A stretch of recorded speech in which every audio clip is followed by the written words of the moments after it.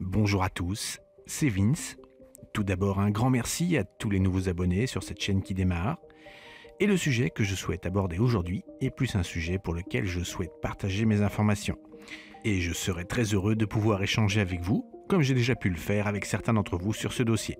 Nous allons parler de l'optimisation de DaVinci Resolve pour pouvoir travailler confortablement sans devoir acheter un PC énormissime et enfin pouvoir travailler sans s'arracher les cheveux. Alors attention, je ne dis pas que vous pourrez pour autant travailler en 4K avec votre ordi portable, ses 4 ou 6 Go de RAM et sa carte graphique de base. Car oui, c'est certainement le point le plus décevant de DaVinci Resolve, c'est la manière dont son moteur de calcul a été construit. Il est effectivement très performant, meilleur même que certains gros concurrents, mais ce logiciel utilise principalement le GPU, donc la carte graphique, pour faire ses calculs. Si votre carte graphique n'est pas performante, DaVinci Resolve ne fonctionnera certainement pas du tout. Donc je pense à des amis qui ont voulu tester DaVinci Resolve sur un ordi portable moyen de gamme, et cette désagréable déconvenue lors du premier lancement du logiciel. Il est malheureusement primordial pour DaVinci Resolve d'avoir une carte graphique décente et surtout de bien paramétrer le logiciel pour qu'il gère comme il faut votre carte. Si votre système est sous-dimensionné, les réglages d'optimisation risquent de ne pas apporter grand-chose à vos problèmes. C'est hélas le gros gros défaut de DaVinci Resolve, les petites configs ne sont pas invitées à la fête. En revanche, si vous avez une configuration correcte, mais des difficultés à éditer votre film en 4K, c'est toute une série de petits plus, de petits réglages que nous allons passer en revue dans cette vidéo. Cette liste n'est bien sûr pas exhaustive et je serai plus que ravi de pouvoir échanger avec vous et de faire grossir cette liste de paramètres à optimiser et ainsi aider le plus grand nombre à démarrer avec DaVinci Resolve. Tout d'abord, nous allons voir comment gérer la carte graphique, surtout si vous en avez deux. Ensuite, nous verrons le mode proxy pour soulager l'affichage du moniteur. Ensuite, il y aura une plus grosse partie sur l'optimisation du cache et des fichiers optimisés. Et enfin, nous verrons comment réduire de manière notable le temps de rendu de vos montages, ce qui peut être particulièrement appréciable si vous souhaitez produire une démo par exemple. Donc c'est parti, premier chapitre, la carte graphique. Donc nous allons aller directement dans les préférences, mémoire et GPU. Ici on va parler du moteur de calcul principal de DaVinci Resolve. Tout va se passer autour de l'utilisation des CUDA. Les c'est une technologie développée par Nvidia pour utiliser le processeur graphique, le GPU, pour multiplier considérablement les calculs qui ne sauraient être gérés par les meilleurs CPU actuels. Donc tout va se passer ici pour commencer. Donc cela peut être une évidence, mais si vous avez une carte vidéo qui n'est pas reconnue ici, pensez à mettre à jour vos pilotes. Et donc si vous avez une unique carte vidéo, vous devriez voir son nom apparaître ici. Si vous avez deux cartes vidéo, par exemple une petite carte graphique pour l'affichage et une seconde plus grosse servant de module de calcul pour vos rendus vidéo. C'est une configuration assez répandue pour les utilisateurs de MacBook. La carte graphique interne sert pour l'affichage une carte graphique externe, un iGPU, va alors servir au calcul supplémentaire de DaVinci Resolve. Donc dans tous les cas, votre carte graphique la plus puissante doit se retrouver affichée ici. Si ce n'est pas le cas, cliquez ici sur méthode de sélection, passez de automatique en manuel et sélectionnez votre carte. Je le rappelle, ce doit être la carte la plus puissante. Ensuite, il est conseillé de désactiver la fonction automatique de méthode de calcul. Donc si vous avez une carte Nvidia, choisissez CUDA et OpenCL si vous avez une carte AMD ou Intel et surtout ne pas laisser l'automatique. Je vous invite ensuite à cocher les deux cases, utiliser aussi le GPU d'affichage pour les calculs et utiliser le GPU pour les scopes vidéo. Donc si vous avez deux cartes graphiques, vous allez mutualiser la puissance de calcul. Donc deuxième partie, le mode proxy. Attention au terme proxy, Premiere Pro par exemple utilise ce terme en anglais, donc c'est le mot doublure en français, pour les fichiers optimisés dont je parlerai plus tard. Les fichiers optimisés sont des copies avec un codec et une résolution différente de votre fichier original. Le mode proxy permet simplement de réduire le nombre de pixels à afficher dans le moniteur et donc soulager par la même occasion les calculs à y apporter, particulièrement pour les effets gourmands en ressources. Je place ici par exemple un rush sur ma ligne de temps, j'y applique un effet aquarelle qui est assez vorace en calcul, surtout avec du 4K, et comme vous le voyez, la lecture n'est pas fluide. Alors je passe en mode lecture, Donc menu lecture, mode proxy, half resolution, moitié donc, et je vais donc passer en résolution plus faible pour le monitoring. Maintenant, ma lecture devient fluide. Donc gardez cette option en mémoire, celle-ci peut vous changer la vie tout simplement. Maintenant, abordons les problèmes de cache et de fichiers optimisés.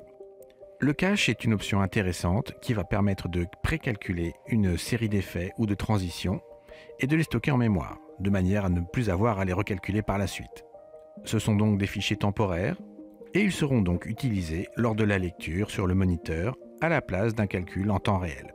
Ce sera donc un véritable soulagement pour votre carte graphique. Mais là encore, nous allons avoir quelques options à cocher pour activer ce cache. Il est ici vivement conseillé d'avoir un disque dur interne dédié à cette tâche. Ce n'est pas l'endroit où vous allez stocker vos rushs, mais bien un disque de fichiers cache temporaire. Et plus il sera rapide, plus la lecture sera fluide sur votre moniteur lors du montage et de l'édition. Vous pouvez donc utiliser un SSD, mais également un disque NAS en RAID 0 par exemple. Ce qui compte, je le rappelle, c'est la vitesse de lecture et d'écriture. DaVinci Resolve insiste pour que ce dossier soit sur un disque dur interne à votre ordinateur et non un disque externe. Donc oubliez les disques durs externes en USB. La meilleure solution reste donc un petit SSD dédié à cette tâche. Donc une fois ce disque dur installé, nous allons donc aller dans Préférences, Espace de stockage, et nous allons ajouter un répertoire sur ce disque dur. Donc vous noterez au passage la petite mention, cet emplacement doit être en permanence connecté à votre système. Donc maintenant l'espace de stockage est paramétré. Nous allons pouvoir demander à DaVinci Resolve d'utiliser la fonction de cache. Donc je vais créer ici un petit montage avec deux ou trois plans. Je vous invite au passage à visionner la vidéo sur le montage cut, qui est une nouveauté de cette version 16. Donc j'active le mode bande de dérochage. Donc I et O pour le in and out. J'ajoute à la fin, append. Et je vais placer donc mon premier plan.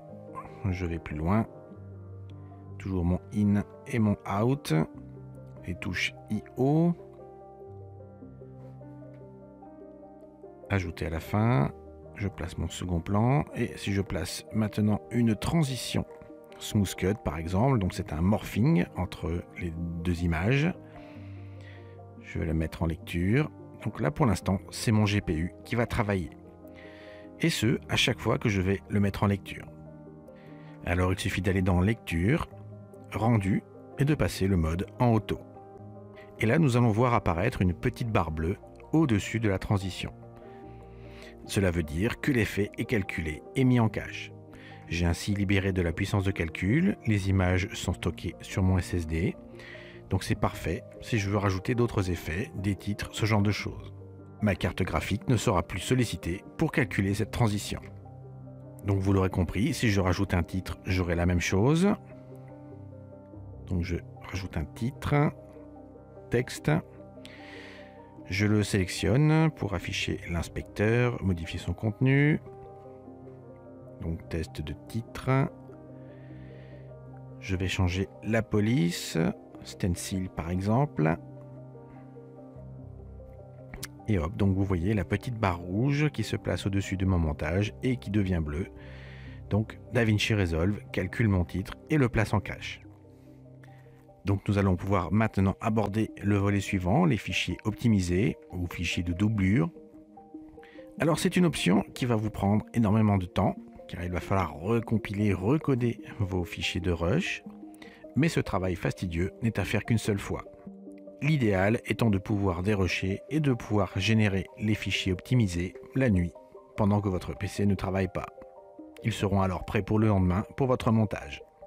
Alors vous allez me demander pourquoi travailler sur des fichiers optimisés? Eh bien la plupart des caméras vous délivrent aujourd'hui du H264 donc c'est un codec parfait pour l'affichage, mais extrêmement difficile à utiliser pour le montage. Les opérations de décompression demandent énormément de ressources et cela ralentit et rend le plus souvent votre montage non fluide lors de la lecture. L'idée est donc assez simple, nous allons transcoder notre rush avec un codec qui est beaucoup plus facile et beaucoup plus rapide à utiliser pour DaVinci Resolve lors du montage. Le logiciel sera alors capable de se déplacer à l'intérieur du fichier avec beaucoup plus de facilité et de fluidité, et ce, même en lecture accélérée. Alors je vous rassure, cela ne veut pas dire que le rendu final va utiliser ces fichiers optimisés. Le rendu final, et uniquement le rendu final, utilisera les fichiers originaux. Tout le montage et les effets pourront se faire avec la copie optimisée. En fait, c'est vous qui allez décider après coup de l'utiliser ou non. Dans le menu lecture, vous avez l'option Utiliser les médias optimisés.